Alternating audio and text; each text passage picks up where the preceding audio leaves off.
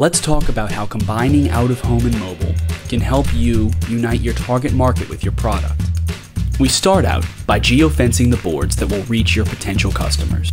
Geofencing is an advertising technique that involves sending ad messages to smartphone users that enter a defined geographic area. This means that when they see your ads on the road, your mobile ads are pushed to their phones through their favorite apps. And because click through rates rise 56% above industry average when you pair mobile with out of home, interaction is more likely than usual. After geofencing the boards, we can then geofence key destinations to increase their exposure to your brand. By the time your customer is at the purchase point, your product is top of mind because you've been interacting with them all day at multiple locations. So when the question is what'll it be, the answer is easy.